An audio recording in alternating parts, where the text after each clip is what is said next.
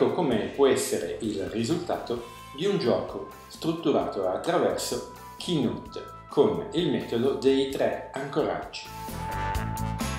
Dobbiamo scoprire il romanzo, quindi seguiamo la freccia. Prima di tutto dobbiamo indicare ciò di cui stiamo parlando, perché la soluzione del gioco deve trovarsi all'interno di un contesto ben preciso. Quindi lo studente dovrà scoprire se stiamo parlando di Siddhartha, Uomini Topi, la trilogia della città di K, Un anno terribile, Full of Life o Le libere donne di Magia. Detto questo, proseguiamo. Il primo step è un classico distrattore. Ci chiede dove vuoi andare. È ovvio che molti penseranno di poter andare al mare e invece in questo caso ricevono una risposta. Nessun romanzo è ambientato al mare. Da notare che questa risposta consente al giocatore di mettere da parte una informazione utile. L'informazione consiste precisamente che nessun romanzo è ambientato al mare. Gioco forza, vediamo cosa succede se andiamo a casa. Andiamo a casa e scopriamo proprio la facciata di una casa. Questa facciata andrà scoperta in qualche modo.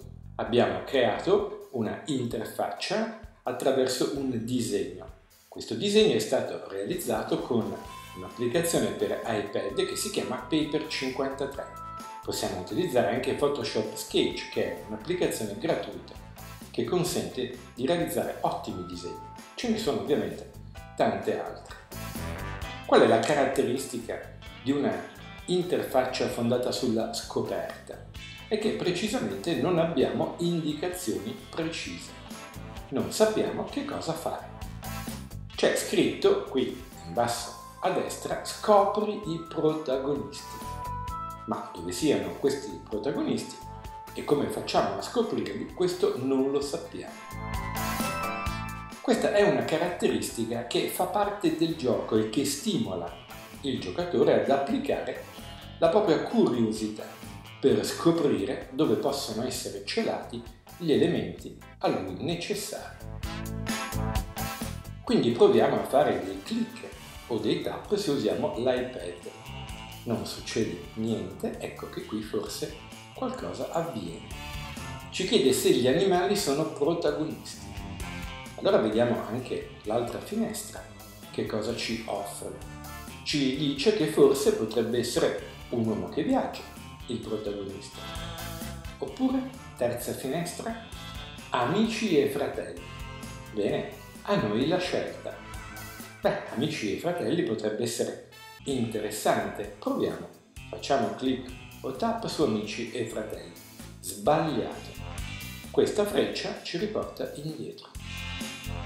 Dunque, come potete notare, la prima informazione che noi possiamo ricavare significativa sul libro che dobbiamo scoprire è del tutto casuale. La ricerca delle informazioni è casuale, l'accumulo di informazioni è casuale. Però a mano a mano che noi andremo avanti ci troveremo naturalmente ad avere nel nostro bagaglio di informazioni delle notizie utili per poter svolgere delle ricerche e applicare la nostra intelligenza. Proviamo a vedere se si tratta di animali. Facciamo clic su questo strano animale e vedete la scena cambia.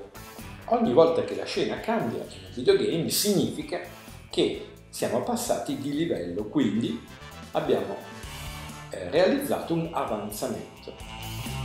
Leggiamo, fra i protagonisti ci sono degli animali, ora seleziona il tema del romanzo. Dunque, vedete, casualmente noi abbiamo già ricevuto due informazioni importanti. La prima è che nessun romanzo è ambientato al mare. La seconda è che fra i protagonisti ci sono degli animali, sono due informazioni preziose. Vediamo, si parla di un viaggio? L'argomento è il lavoro? È un tema simbolico? animali potrebbe parlare di un viaggio, forse non del lavoro. Vediamo che cosa succede. Facciamo clic o tap qui sul disegnino che rappresenta il viaggio non succede niente. Anche sull'argomento del lavoro non succede niente. Quindi in questo caso non ci riporta all'informazione, alla schermata che ci informa di avere sbagliato. Se facciamo invece clic o tap qui, è un tema simbolico, siamo condotti a un altro livello di gioco, quindi abbiamo superato questo livello di gioco. Abbiamo già tre informazioni importanti. Adesso ci chiede di scoprire le relazioni psicologiche. Beh, vediamo. Prima erano le finestre, giustamente ora le finestre sono inattive, forse la parte attiva di questa casa sarà costituita dalle porte. Vediamo. Le relazioni sono forse introspettive? O forse sono fondate su interessi pratici? O forse Vediamo, familiari. Beh, vediamo un po', forse interessi pratici.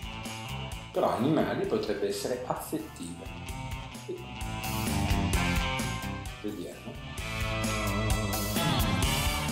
Affettive familiari. Vediamo un po'. Ricapitoliamo, quindi abbiamo passato il livello, abbiamo scelto la cosa giusta. Ecco le informazioni che abbiamo accumulato. Gli animali sono fra i protagonisti, è una vicenda simbolica e centrata su relazioni familiari. Ci dice a questo punto il gioco che forse possiamo cercare di capire di che romanzo si tratta. In effetti, se li abbiamo letti, cioè vale a dire, se si tratta di informazioni, contenuti, di nozioni che abbiamo appreso a scuola, forse a questo punto siamo anche in grado di fornire la risposta esatta. Siddhartha, Uomini e topi, trilogia della città di K, Un anno terribile, Full of Life, La metamorfosi, Le libere donne di Marianne. Beh, Uomini e topi parla anche di animali, ma non sono effettivamente fra i protagonisti. E poi non è una vicenda simbolica, ma è una vicenda reale. È l'amicizia tra due uomini che avrà un risvolto tragico. Vediamo, la metamorfosi di Franz Kafka invece è proprio centrata su un animale perché è un ragazzo che si trasforma in scarafaggio e per di più la vicenda è centrata su relazioni familiari e è una vicenda certamente simbolica. Quindi proviamo a fare clic o tap sulla metamorfosi. Ecco che cosa succede. Ci appaiono delle informazioni, la metamorfosi di Franz Kafka. Il giovane Gregor si sente scarafaggio in una famiglia utilitaristica e incapace di amare. Quindi siamo giunti alla scoperta del romanzo che c'era appunto chiesto di trovare all'inizio e il gioco ne approfitta per fornire delle informazioni siamo giunti alla conclusione del gioco perché lo abbiamo strutturato solo su due livelli. Si tratta infatti di un esempio. Vi è piaciuto questo gioco? Bene. Allora dovete sapere che lo scopo non è di costruire un gioco per far giocare i propri allievi. Non sarebbe economico. Ci occorrerebbe un certo lasso di tempo per costruirlo e poi il gioco. Sarebbe sfruttato sarebbe consumato rapidamente. Sono invece gli studenti a dover creare dei giochi di questo genere sui contenuti che hanno appreso in classe. La costruzione di un gioco infatti sviluppa le capacità cognitive, sviluppa l'intelligenza e sviluppa la creatività.